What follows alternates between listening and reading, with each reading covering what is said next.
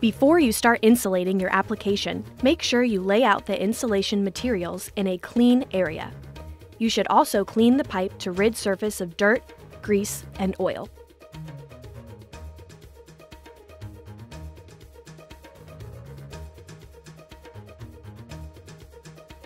When using K-Flex Clad WTNS, you should start by sliding the tube down the pipe. The tubing will slide down with ease as the ID is designed to be slightly larger than the corresponding pipe. You can slide on all tubes, but leave 1 to 2 inches in between sections, allowing space for when applying adhesive to bond the tubes. When you are about to seal the butt seams, make sure you apply appropriate K-Flex contact adhesive on the complete elastomeric surface perimeter on both ends of tubing.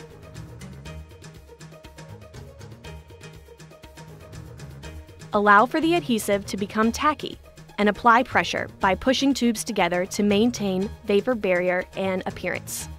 Repeat this step for all connecting tubes.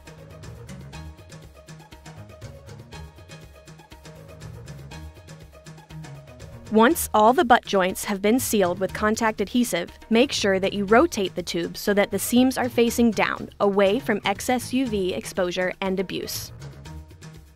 When the tubes have been aligned correctly, you should apply K-Flex clad tape to the butt seams. The tape strips are included in the insulation box. Align the tape with the longitudinal overlap seam.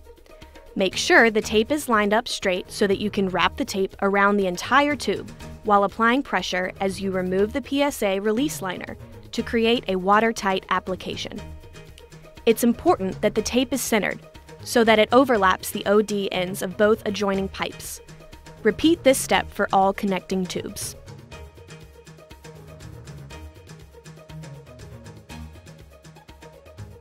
If you need to install K-Flex clad molded elbows, start by installing our K-Fit elbow. K-Flex USA offers prefabricated fittings in various thicknesses and diameters to simplify applications through considerable savings on time and material. Our K-Fit fittings are mechanically prefabricated under a high level of precision and give an excellent fit. Start by choosing a fitting whose size corresponds to the size of the pipe that needs to be insulated. Slit the K-Fit elbow by its throat using a sharp knife. Apply K-Flex contact adhesive to the inside edges of the fitting, brushing from the inside and out. Position the K-Fit elbow on the curve that needs to be insulated. Bond the glued edges together by applying firm pressure. When you have closed the fitting by bonding the glued edges together, you need to apply the appropriate K-Flex contact adhesive to the edge of the fitting and the adjoining tubes and bond them with firm pressure. Once the K-Fit elbow is in place, you can apply the K-Flex clad molded elbow. Start by choosing the correct size. You can find a size chart on our website, www.kflexusa.com. Take your molded elbow and push one tack into the outside layer on the extreme edge of each leg using Heiko's number 2 white stainless steel tacks.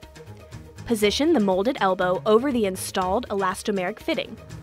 Note that on the horizontal piping, the outside layer of the molded elbow must be facing down towards the floor or ground to provide a watershed. It's important that you use K-Flex 120 contact adhesive to seal the cover. Make sure edges are smooth and flat and that the inner edges overlap, allowing for proper alignment. In case you need more tacks after you have applied the molded elbow onto the elastomeric fitting, Use Hyco's number 2 white stainless steel tacks to help the adhesive set and create a seal. Apply K-Flex 120 contact adhesive over the tacks to seal the punctured areas.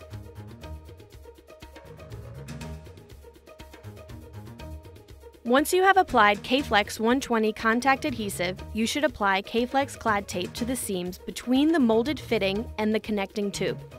This will seal the seams and create a watertight application. If your application calls for a K-Flex clad molded tee, start by installing our K-Fit tee using an appropriate size tee. Slit the K-Fit tee using a sharp knife. Apply K-Flex contact adhesive to the inside edges of the fitting, brushing from the inside and out.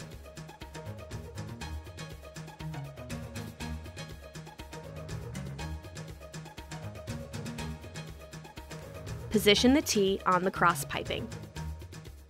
When you have closed the fitting by bonding the glued edges together, you need to apply the appropriate K-Flex contact adhesive to the edge of the fitting and the adjoining tubes, and bond them with firm pressure. Bond the glued edges by applying a firm pressure.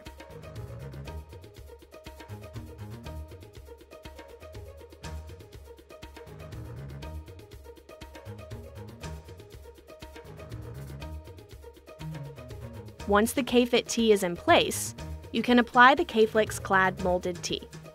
Start by choosing the correct size. You can find a size chart on our website, www.kflexusa.com.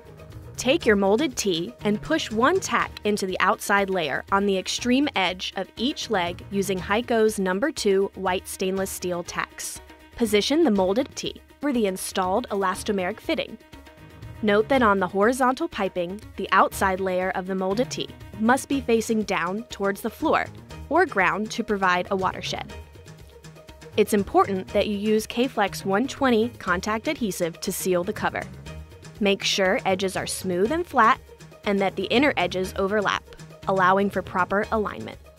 In case you need more tacks after you have applied the molded tee onto the elastomeric fitting, Use Hyco's number 2 white stainless steel tacks to help the adhesive set and create a seal. Apply K-Flex 120 contact adhesive over the tacks to seal the punctured areas. Once you have applied K-Flex 120 contact adhesive, you should apply K-Flex clad tape to the seams between the molded fitting and the connecting tube. This will seal the seams and create a watertight application. For applications subject to heavy moisture, such as washdown areas, K-Flex USA recommends caulking all pipe seams. For refrigeration and all other below ambient applications, K-Flex USA recommends that you install vapor stops at all insulation terminations or interruptions. This includes supports, valves, and flanges. Start by adhering the insulation directly to the pipe using a 2-inch strip of contact adhesive or sealant to maintain closure. Insulation tape can also be used for this purpose. On straight runs, install vapor stops every 18 feet or 5.4 meters to minimize moisture problems.